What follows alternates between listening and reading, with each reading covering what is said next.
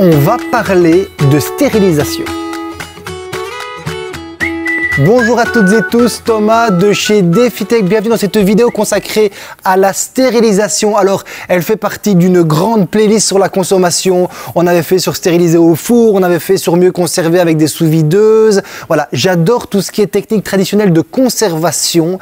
Euh, c'est vrai que les anciens trucs comme la stérilisation, les gens de ma génération ou plus jeunes se disent... Bah, à quoi ça sert, à quoi ça sert de stériliser. Alors, on va essayer de répondre à tout ça en vous expliquant des trucs, comment ne pas se tromper, comment ne pas rater ces stérilisations. Voilà, on, a, en a fait certaines qui ont loupé pour montrer quels sont les bons gestes à avoir et surtout à quoi ça sert. C'est parti. Alors, cours rapide sur la stérilisation. Évidemment, vous avez deux grandes méthodes. La pasteurisation, c'est à moins de 100 degrés, ça doit être conservé au frigo et ça se conserve pas très longtemps. C'est très très utile, mais c'est pas ce qui nous occupe aujourd'hui. La stérilisation se fait des fois à plus de 100 degrés. Ici, notre stérilisateur Domo est à 100 degrés. Il faut des pots spécifiques et ça se conserve beaucoup plus longtemps. Alors, pourquoi stériliser? Alors on me pose souvent la question, et alors quand je préparais mes vidéos, on me dit mais pourquoi tu stérilises? En fait, c'est absolument génial de stériliser. C'est une méthode de conservation à long terme sans produits chimiques. C'est une première chose. Vous avez plusieurs méthodes. À la saumure, donc de l'eau salée, vinaigre et alcool sont également très répandues. J'ai voulu faire à la saumure ce qui est le plus facile à faire et vraiment avec un stérilisateur, vous savez faire des très très grandes quantités, d'où la taille du stérilisateur évidemment. Donc l'idée c'est de conserver des grosses quantités de mettre tous vos pots, de mettre de l'eau et de mettre pendant une heure à 100 degrés. C'est tout. Hein. Il n'y a que ça à faire pour stériliser. Alors, la méthode de la stérilisation évite en fait la congélation. Alors, vous avez déjà entendu dans nos vidéos, on la mettra dans la description si vous voulez, ainsi que des articles en rapport avec la stérilisation et des chaînes YouTube que j'ai beaucoup appréciées à ce sujet-là. La congélation, même si vous la mettez sous vide, ce qui parfois peut me déplaire dans la, surgélation, dans la congélation de vos aliments, c'est que vous tuez fatalement des bactéries quand vous mettez au surgélateur, mais alors l'utilisation est beaucoup plus complexe. Le meilleur exemple sont les haricots verts. Avez-vous déjà essayé de congeler des haricots verts et puis de les dégivrer et de les cuire. C'est pratiquement impossible. Certains légumes ne supportent pas la surgélation. Donc à ce moment-là, la stérilisation, c'est le meilleur système. Un magnifique exemple des prunes. Vous coupez vos prunes, vous les lavez, vous les mettez à stériliser, vous pouvez les manger comme dessert ou simplement préparer des tartes après. Donc que vous ayez un potager, des arbres fruitiers, que vous ayez également acheté en gros, en vrac, vos fruits et légumes, ça permet de conserver sans produits chimiques vos, pots, vos conserves, vos aliments beaucoup plus longtemps, de ne pas gaspiller. Voilà, ça vous avez un peu le topo de ce que c'est une stérilisation totalement naturelle. Alors je fais référence à un autre système qui est la lactofermentation. Donc j'ai découvert une chaîne YouTube qui est française, qui s'appelle, c'est une dame qui fait ça, je trouve ça absolument génial, ça s'appelle Popote et Potager. Je mettrai le lien dans la description. C'est une dame qui expérimente des méthodes de conservation traditionnelles honnêtement, j'ai appris plein de choses. Alors, ça n'a rien à voir avec des produits, on est bien d'accord, mais quand on rencontre des chaînes YouTube absolument géniales, voilà, je voulais juste renseigner ça. Donc, allez voir ce qu'elle fait, c'est vraiment très, très bien fait. Donc, maintenant, les règles pour stériliser correctement. Que stériliser? Évidemment. Donc là, on a fait du chou, par exemple, on a râpé du chou, etc. On l'a évidemment blanchi pour le, encore mieux le conserver et on l'a mis dans une saumure. Des légumes qui nous restaient pour ne pas les jeter, évidemment. On a mis du chou-fleur ici à l'intérieur. Et alors, on a montré aussi un exemple de ce qu'il ne faut pas faire lors d'une stérilisation. Aussi, un autre exemple, je reviens à ce que je disais, mais pourquoi stériliser? Ben, Pour ne pas avoir trop de déchets, évidemment.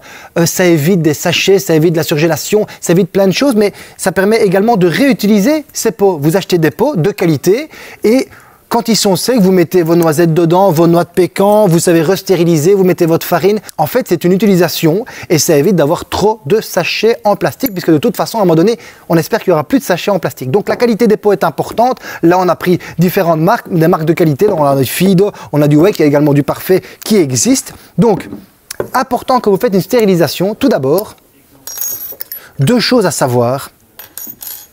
Les pots doivent être propres lavé et propre et sec quand vous stérilisez. Deuxièmement, le joint, vérifiez qu'il est toujours toujours parfait. Au cas où, ce sont des choses qui peuvent se recommander, mais une stérilisation peut rater parce que vous n'avez pas nettoyé bien le joint, parce que vous n'avez pas bien nettoyé les bords, c'est quelque chose qui peut louper. C'est simple, il faut juste respecter des méthodes de travail quand vous stérilisez. Il faut le meilleur exemple, c'est le chou ici. Quand vous le mettez, il faut presser au maximum pour faire sortir l'air, évidemment. Et puis, vous venez inonder simplement avec une saumure. Donc, je rappelle rapidement, ça, vous savez trouver les quantités. Donc, c'est vraiment, on va dire, un litre d'eau entre 15, 20, 25% de sel pour une saumure. Donc, l'avantage d'un stérilisateur ici, c'est que vous placez vos pots. Voilà, on va prendre un exemple. Vous placez vos pots on peut aller entre 7 et 14 pots selon la quantité. Écartez-les bien. Ça, c'est très très important. Voilà. Donc l'idée, effectivement, c'est que vous veniez couvrir d'eau. Et pour la plupart, vous avez donc ici un thermostat.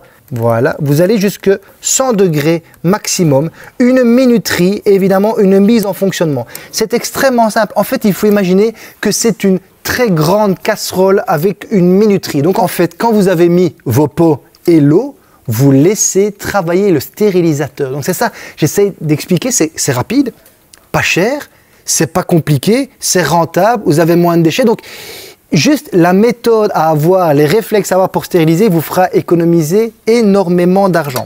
Alors, j'avais également eu une remarque d'un monsieur en magasin qui m'avait dit Ok, j'achète un stérilisateur, très bien, ok, mais bon, je vais m'en servir euh, trois mois par an qu'est-ce que je peux faire d'autre avec mon stérilisateur Donc d'abord, si vous le rangez à la cave pour plusieurs mois, nettoyez-le et laissez le petit robinet ouvert. Ça, c'est pour permettre une bonne ventilation, fatalement.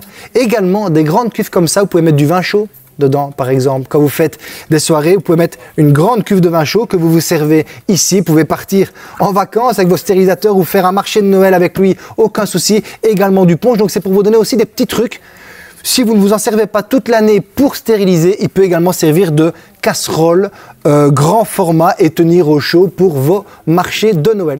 Alors, j'ai fait ceci pour vous montrer quelque chose qu'il ne faut pas faire.